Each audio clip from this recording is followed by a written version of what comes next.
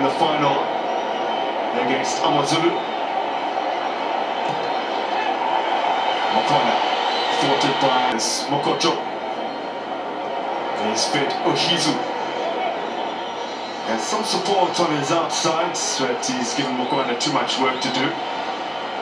Joined from the Monfort Golden Arrows. So, Paseka Mako marked by. Tracks on uh, the far sides with Mokotsuiki. He told me this is unequivocally the biggest game of his coaching career. There have been moments that come close in terms of pressure and for Ole, this is Vilakazi. Rolls it out wide and Sekhukhune United have a corner.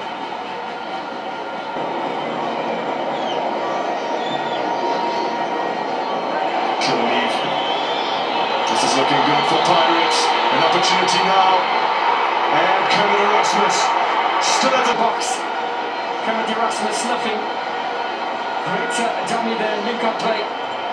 Paseka Mako it was. Sagare with the first save, the second. Options out wide for Monare. As Paseka Mako has got himself up. Sibisi.